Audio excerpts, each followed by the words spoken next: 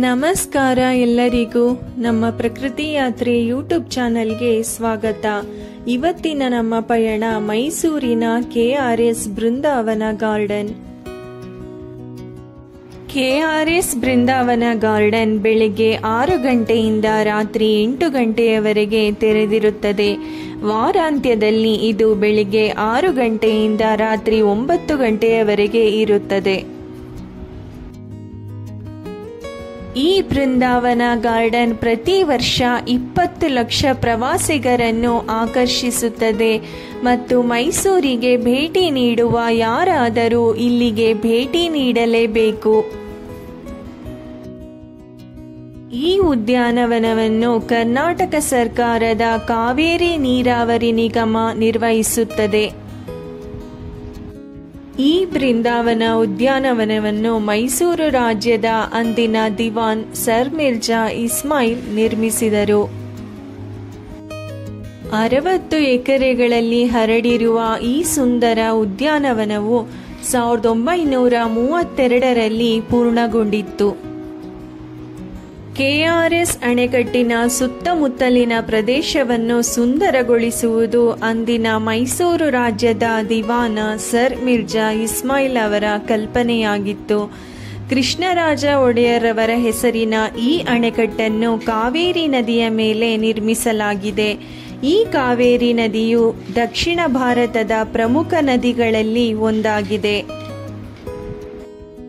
ಸುಮಾರು ಎಪ್ಪತ್ತು ವರ್ಷಗಳಷ್ಟು ಹಳೆಯದಾದ ಈ ಗಾರ್ಡನ್ನ ವಿನ್ಯಾಸವು ಕಾಶ್ಮೀರದ ಮೊಘಲ್ ಶೈಲಿಯ ಶಾಲಿಮಾರ್ ಗಾರ್ಡನ್ನಿಂದ ಸ್ಫೂರ್ತಿ ಪಡೆದಿದೆ. ಈ ಗಾರ್ಡನ್ ಅಸಂಖ್ಯಾತ ಕಾರಂಜಿ ಮತ್ತು ಆಕರ್ಷಣೀಯ ಪ್ರಕಾಶದಿಂದ ಕೂಡಿದೆ. ಮನಮೋಹಕ ಸೌಂದರ್ಯವನ್ನು ನೀಡುತ್ತಿರುವ ಈ ಗಾರ್ಡನ್ ಪ್ರತಿಯೊಬ್ಬ ಸಂದರ್ಶಕರನ್ನು ಆಕರ್ಷಿಸುವುದು ಖಚಿತ.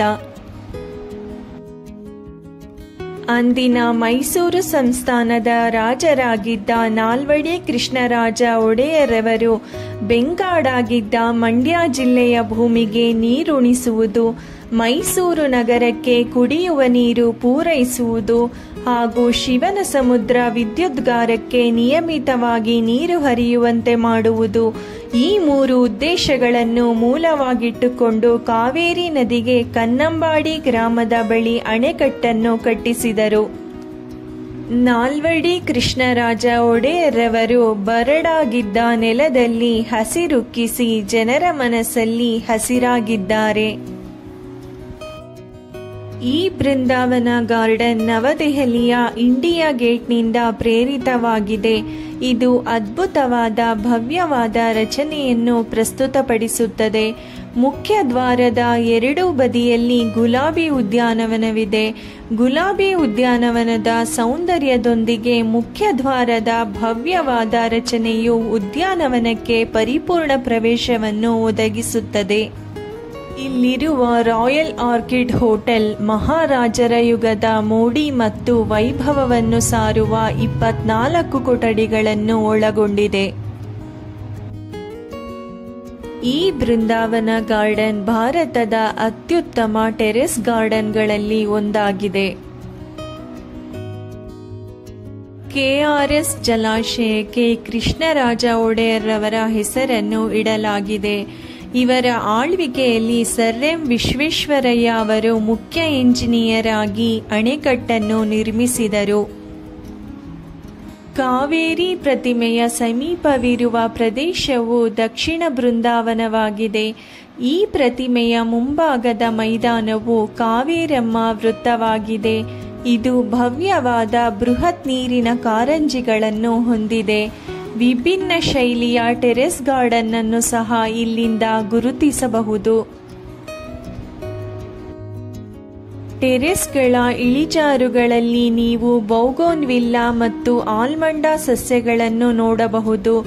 ಟೆರೆಸ್ ಗಾರ್ಡನ್ನಲ್ಲಿರುವ ಹುಲ್ಲು ಹಾಸಿನಲ್ಲಿ ಹೂವಿನ ಹಾಸಿಗೆಗಳು ಮತ್ತು ಮಾದರಿಯ ಹೆಡ್ಜ್ಗಳು ಮತ್ತು ಮಧ್ಯದಲ್ಲಿ ನೀವು ಸೈಪ್ರಸ್ ಸಸ್ಯಗಳನ್ನು ನೋಡಬಹುದು. ಟೆರೆಸ್ ಗಾರ್ಡನ್ನಲ್ಲಿ ವಿವಿಧ ಕಾರಂಜಿಗಳು ಮತ್ತು ಕುಬ್ಜ ಸಸ್ಯಗಳನ್ನು ಸಹ ಕಾಣಬಹುದು.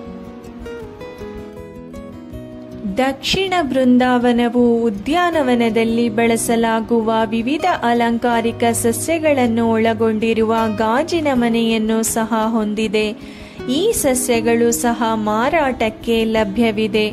ದಕ್ಷಿಣ ಬೃಂದಾವನದ ಪಕ್ಕದಲ್ಲಿ ಮಕ್ಕಳ ಉದ್ಯಾನವನವಿದೆ. ಈ ಉದ್ಯಾನವನವು ಮಕ್ಕಳಿಗೆ ಆಟವಾಡಲು ಮತ್ತು ಆನಂದಿಸಲು ಸೂಕ್ತವಾದ ಸ್ಥಳವಾಗಿದೆ. ಇಲ್ಲಿನ ಮಕ್ಕಳ ಉದ್ಯಾನವನ ತೋಟಗಾರಿಕಾ ಫಾರ್ಮ್ ಮತ್ತು ನರ್ಸರಿ, ಮೀನುಗಾರಿಕೆ ಕೊಳ ಮತ್ತು ಹೈಡ್ರಾಲಿಕ್ ಸಂಶೋಧನಾ ಕೇಂದ್ರವು ಪ್ರವಾಸಿ ಆಕರ್ಷಣೆಯಾಗಿದೆ. ನರ್ಸರಿಯಲ್ಲಿ ಹಲವಾರು ಹೂವಿನ ಗಿಡಗಳು ಮತ್ತು ಮರಗಳ ಸಸಿಗಳಿವೆ. ಸಂದರ್ಶಕರು ಬೀಜಗಳು ಮತ್ತು ಸಸಿಗಳನ್ನು ಇಲ್ಲಿ ಖರೀದಿಸಬಹುದು. ಅತ್ಯಂತ ಸುಂದರವಾದ ಬೃಂದಾವನ ಉದ್ಯಾನವನವು ನೂರಾರು ಚಲನಚಿತ್ರಗಳಲ್ಲಿ ಕಾಣಿಸಿಕೊಂಡಿದೆ ಮತ್ತು ಅತ್ಯುತ್ತಮವಾದ ಫೋಟೋ ಅವಕಾಶಗಳನ್ನು ಒದಗಿಸುತ್ತದೆ. ಸುಮಾರು ಅರವತ್ತು ಎಕರೆ ಪ್ರದೇಶದಲ್ಲಿ ವ್ಯಾಪಿಸಿರುವ ಈ ಉದ್ಯಾನವನವು ಉತ್ತಮವಾಗಿ ನಿರ್ವಹಿಸಲಾದ ಸಸ್ಯಶಾಸ್ತ್ರೀಯ ಉದ್ಯಾನವನವಾಗಿದೆ. ನಡುಭಾಗದಲ್ಲಿ ನೀರಿನ ಕಾರಂಜಿಗಳು, ಮಾರಿಗೋಲ್ಡ್ ಬೋಗೋನ್ವಿಲ್ಲಾ ಮತ್ತು ಫಿಕಾಸ್ ಮರಗಳು, ಸೆಲೋಸಿಯಾ ಸೇರಿದಂತೆ ವಿಲಕ್ಷಣ ಹೂವುಗಳು ಮತ್ತು ಮರಗಳ ವ್ಯಾಪಕ ಶ್ರೇಣಿಯನ್ನು ಬೃಂದಾವನ ಉದ್ಯಾನವನದಲ್ಲಿ ಕಣ್ತುಂಬಿಕೊಳ್ಳಬಹುದು. ಬೃಂದಾವನ ಗಾರ್ಡನ್ನಲ್ಲಿ ಪ್ರವಾಸಿಗರು ಸರೋವರದಲ್ಲಿ ದೋಣಿ ವಿಹಾರವನ್ನು ಆನಂದಿಸಬಹುದು. ಈ ದೋಣಿ ವಿಹಾರವನ್ನು ಆನಂದಿಸಲು ಪ್ರವಾಸಿಗರು ನಿಯಮಿತವಾದ ಶುಲ್ಕವನ್ನು ಪಾವತಿಸಬೇಕಾಗುತ್ತದೆ. ಈ ಬೃಂದಾವನ ಉದ್ಯಾನವನವು ಉತ್ತಮವಾಗಿ ಸೂರ್ಯಾಸ್ತದ ಸಂಗೀತ ಕಾರಂಜಿ ಪ್ರದರ್ಶನಕ್ಕೆ ಪ್ರಸಿದ್ಧವಾಗಿದೆ. ಇದನ್ನು ಪ್ರತಿದಿನ ಸೂರ್ಯಾಸ್ತದ ನಂತರ ನಡೆಸಲಾಗುತ್ತದೆ.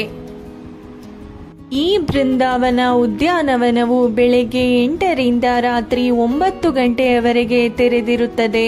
ಉದ್ಯಾನವನವನ್ನು ಮುಚ್ಚುವ ಮೂವತ್ತು ನಿಮಿಷಕ್ಕಿಂತ ಮೊದಲು ಟಿಕೆಟ್ ಮಾರಾಟವು ಮುಕ್ತಾಯವಾಗುತ್ತದೆ.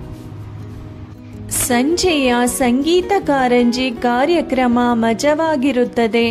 ಇವರು ಸಂಜೆ ಏಳು ಗಂಟೆಗೆ ಉದ್ಯಾನವನವನ್ನು ಬೆಳಗಿಸುತ್ತಾರೆ ಮತ್ತು ಅದು ಎಂದಿಗಿಂತಲೂ ಸುಂದರವಾಗಿ ಕಾಣುತ್ತದೆ. ಈ ಬೃಂದಾವನ ಉದ್ಯಾನವನದ ಪ್ರಮುಖ ಆಕರ್ಷಣೆ ಎಂದರೆ ಸುಂದರವಾದ ಸಂಗೀತ ಕಾರಂಜಿಗಳು ಲೇಸರ್ ದೀಪಗಳೊಂದಿಗೆ ಸೇರಿಕೊಂಡು ಈ ಕಾರಂಜಿಗಳನ್ನು ಸಂಗೀತಕ್ಕೆ ಸಿಂಕ್ರೊನೈಸ್ ಮಾಡಲಾಗಿರುತ್ತದೆ. ನೀರಿನ ಹರಿವು ಡಿಜಿಟಲ್ ಮೂಲಕ ನಿಯಂತ್ರಿಸಲ್ಪಡುತ್ತದೆ. ಇಲ್ಲಿ ನುಡಿಸಲಾದ ಹಾಡುಗಳು ಭಾವಪೂರ್ಣವಾದ ವಾದ್ಯಗಳಿಂದ ಹಿಡಿದು ದೇಶಭಕ್ತಿಯ ಗೀತೆಗಳವರೆಗೆ ಇರುತ್ತದೆ. ವಾರದ ದಿನಗಳಲ್ಲಿ ನೀವು ಸಂಜೆ ಆರು ಮೂವತ್ತರಿಂದ ರಾತ್ರಿ ಏಳು ಮೂವತ್ತರವರೆಗೆ ಒಂದು ಗಂಟೆಯ ಕಾಲ ಮಿನುಗುವ ಪ್ರದರ್ಶನವನ್ನು ಆನಂದಿಸಬಹುದು. ವಾರಾಂತ್ಯದಲ್ಲಿ ಪ್ರದರ್ಶನವು ಒಂದು ಗಂಟೆಯವರೆಗೆ ವಿಸ್ತರಿಸುತ್ತದೆ ಮತ್ತು ಸಮಯವು ಸಂಜೆ ಆರು ಮೂವತ್ತರಿಂದ ರಾತ್ರಿ ಎಂಟು ಮೂವತ್ತರವರೆಗೆ ಇರುತ್ತದೆ. ಬೃಂದಾವನ ಉದ್ಯಾನವನವು ಬೆಂಗಳೂರಿನಿಂದ ನೂರ ನಲವತ್ತೈದು ಕಿಲೋಮೀಟರ್ ಮತ್ತು ಮೈಸೂರಿನಿಂದ ಹದಿನೆಂಟು ಕಿಲೋಮೀಟರ್ ದೂರದಲ್ಲಿದೆ. ರಾಜ್ಯ ಸರ್ಕಾರದ ನಿಯಮಿತ ಬಸ್ಗಳು ನಗರದ ಬಸ್ ನಿಲ್ದಾಣದಿಂದ ಉದ್ಯಾನವನಕ್ಕೆ ಸಂಚರಿಸುತ್ತವೆ. ಪ್ರವಾಸಿಗರು ಮೈಸೂರು ನಗರದಿಂದ ಟ್ಯಾಕ್ಸಿಯನ್ನು ಕೂಡ ಪಡೆಯಬಹುದು.